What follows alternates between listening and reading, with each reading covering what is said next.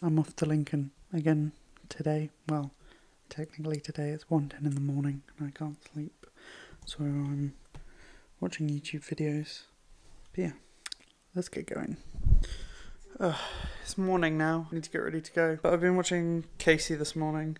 I haven't really watched Casey before and I now know why everyone really likes him. He's great. Ah, it's alright weather today. It's not too bad. I probably won't be in focus in the shot. I might be if my guessing is good enough, but I probably won't be. The thing is, full frame is great.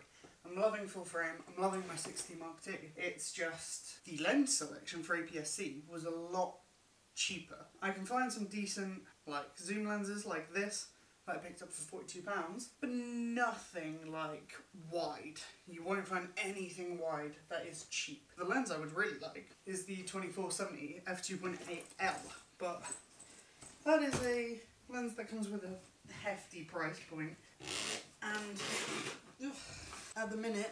There is more essential stuff for me to save up for as a filmmaker. For example, I'm wanting to do more stuff on the go. So currently I need to save for a new laptop. This is a heavy case they're not going to be happy with me today at the train station. I filmed that whole last sequence with the microphone facing backwards, so the audio is probably going to be a bit weird. We are mid, well, yeah, mid-September. And for England, that's normally cold. Uh, I saw on the Facebook Memories thing, this time two years ago, I was wearing a parka, so it was obviously a lot colder than it is now. On the topic of laptops, which is the thing that I was talking about previously, this this is the reason why. This laptop I've had since I was about 15, and it just it can't keep up anymore. I need to fit other stuff in my bag, but I have also got coffee rum in here. I'm gonna wear these. They're not sunglasses. I'm colorblind. This is all I have to bring with me. This would be way easier if I can drive. I need to learn to drive. If I want to start vlogging, um, like this normally, and I want it to be super wide. Well, super wide, wide, and have the blurred backgrounds. I can. Um, I've got this little mirrorless. It's pretty beat up now because I've had it a few years. It's still kind of zippy. The thing is, I don't want to always be carrying two cameras with me, and it has no mic input, so it's not got that clean audio. I want to carry one. And even though it's a little compact system, like this can fit in my jacket pocket, I still don't want to be carrying around two cameras because that's two cameras worth of footage that I've then got to back up at the end of the day. Two cameras worth of footage that I've got to make blend seamlessly into one story. And I know I'm contradicting myself by saying this because I've literally just done it. I've switched from the 6D to the Samsung NX3000. I used to be uh, picky with this and leave it on manual and set everything, but this kind of does fine in auto. I'm not using it as my main camera, it's just a quick head talky thing. So I can afford to leave it in auto. At the end of the day, it does what I need it to do, which is probably one of the most important things when it comes to your filmmaking equipment. It doesn't have to be the best equipment in the world as long as it does what you need it to do.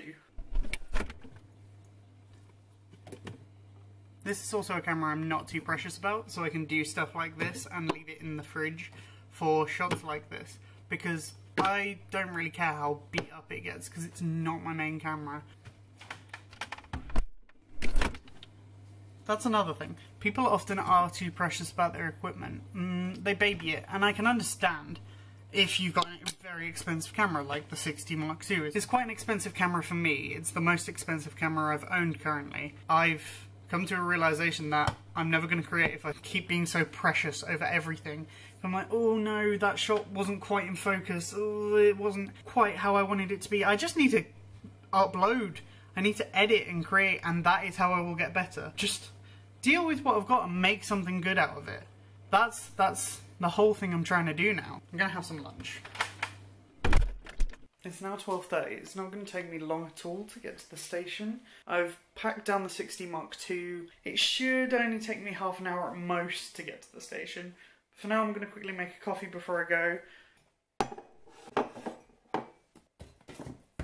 Have we got no coffee left? What? What? What? What? No coffee? There's a cappuccino pod. I don't think there's a milk pod for it. Um, what? What? Man. Man. I can probably use this this coffee pod and just add some milk to it. Maybe. Is this even on? Look, it's not plugged in. Ugh. Man.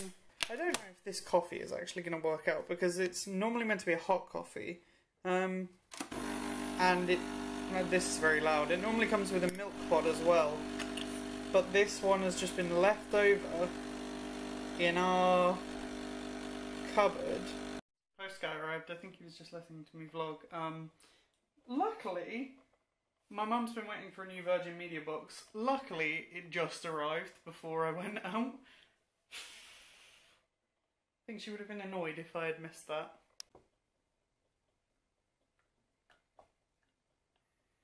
Beckett and her mum have been lovely and offered me a lift because they happen to be in town.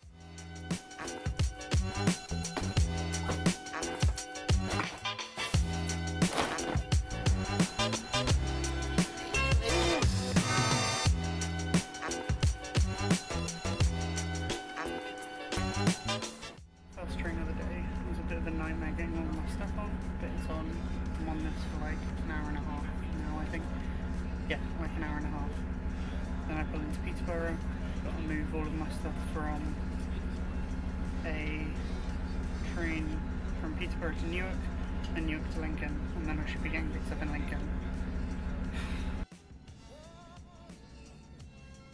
Now getting to. Um, little bit by the door